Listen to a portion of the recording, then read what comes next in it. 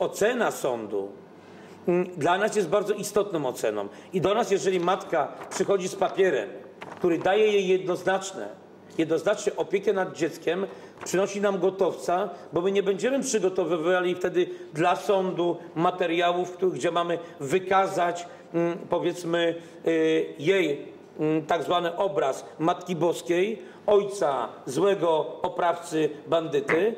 Chodzi o obiektywne spojrzenie. Że dziecko chce narażać na poważne problemy mm, psychiczne, które, gdzie dziecko przeżywa.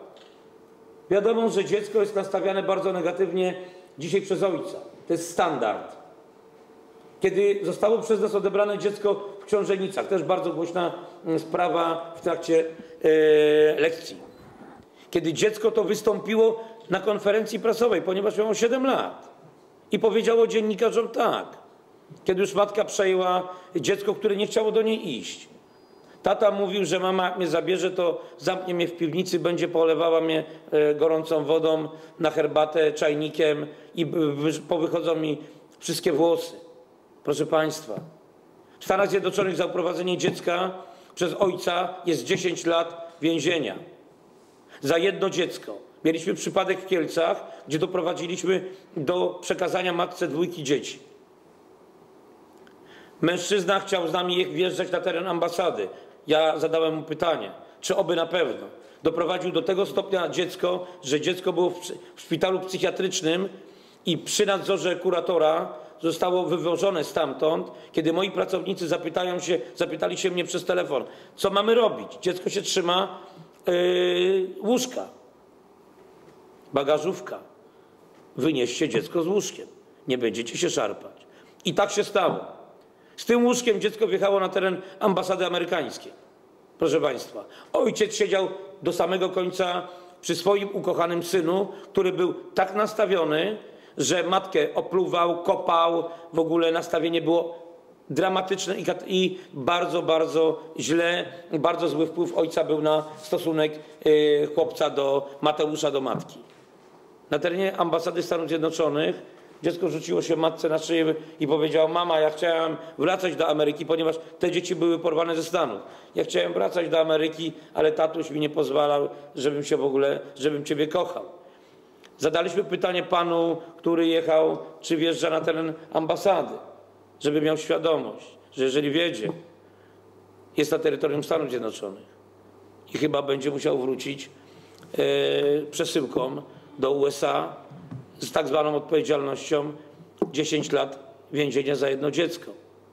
Ten pan był dobry, bo wysłał swoją żonę, żeby zobaczyła wodospad Niagara. I w trakcie, kiedy pojechała na wycieczkę, ukradł jej dzieci, sprzedał samochody w ciągu trzech dni i wyrwał nawet kuchnię mikrofalową z mieszkania. E, wyjątkowa, e, wyjątkowa w ogóle mm, e, nikczemność w działaniu. Ale dziewczyna przyjechała nie dość, do, że do pustego domu, mm, e, e, bez dzieci, i bez niego i bez samochodu, to jeszcze nie miała sobie mm, jak herbatę zrobić. Także takie sytuacje też się zdarzają. Na teren domu, gdzie się znajdował Olaf, e, wypadła mu z kieszeni, wypadł mu gaz i pa, na, pałka sprężynowa. teleskopowa.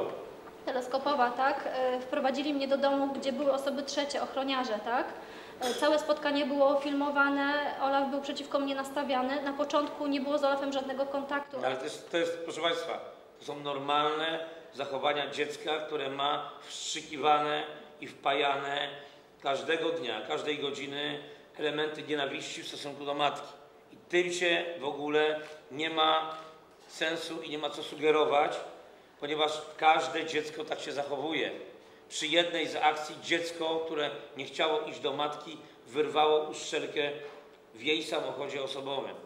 Także tym w ogóle się nie sugerujemy, żeby to stanowiło jako film na przykład Dorodę K. poka- pokazujący i przekonywujący e, psychologów do wydania negatywnej opinii na to, że dziecko nie chce mieć kontaktu z matką. Olaf mi powiedział, że się podczas tego spotkania, jak już się oswoił, powiedział mi, zapytałam Olafku, złościsz się na mnie? Tak, złoszczę, a za co? Bo mnie zostawiłaś. Proste y, y, uświadamianie dziecku, mama cię zostawiła i pojechała z innym panem. Nie kocha już tatusia. Co dalej było, Pani Marto? W pewnym momencie Piotr stwierdził, że jest koniec spotkania, wynieśli dziecko do sąsiadki. I zostałam sama w mieszkaniu z ochroniarzem, tak? Mało tego, najbardziej mi przeraziło to, że dziecko miało szeroko otwarte oczy i leciały mu łzy po prostu. Nie było reakcji na twarzy, po prostu mu leciały łzy. Pani Marto, i potem e, Konferencja. na pewno Pani szukała pomocy Za- za godzinę, za godzinę. w prokuraturze, w sądzie. Jak Pani trafiła tutaj do Pana Przez Rutkowskiego? 16 dni chodziłam od drzwi do drzwi. Większość osób mówiło, że chcą mi pomóc, tylko nie mają jak. Pytali mnie jak. Pomimo, że uzyskałam wszystkie dokumenty. A jakie Pani ma dokumenty?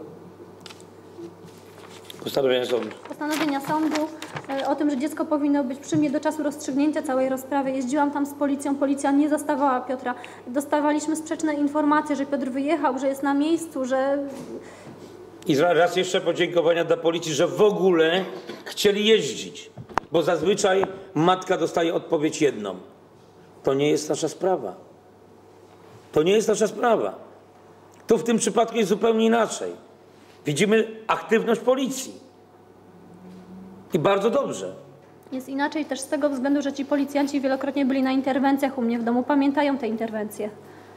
Pamiętają, jak wzywałam, bo miałam zniszczony telefon, bo miałam zniszczony komputer, bo Piotrek się doszukiwał nie wiadomo czego, tak? Długo ze sobą byliście? Cztery lata, bo on wielokrotnie groził mi, że to dziecko zabierze, że wywiezie je za granicę, tak? Wielokrotnie mówił, że jeżeli nie będę z nim, to nie będę miała dziecka. Oszantażował mnie tym. Jeszcze jak byliśmy razem, jeszcze jak chciałam odejść. Ponieważ sprawa się stała dzięki tutaj Państwu mm, e, publiczna, zgłaszają się do nas również inne osoby, które chcą na ten temat przekazywać informacje dotyczące e, pana Piotra, e, partnera, byłego partnera pani Marty. Mm, Niemniej jednak, jeżeli prokuratura czy, czy policja będzie chciała wykorzystać e, tę wiedzę, z pewnością przekażemy również kontakty, mm, kontakty na te osoby, e, które były świadkami stosowanej przemocy mm, e, w stosunku do e, pani Marty i dziecka. Nagle oprawca staje się dobrym tatusiem.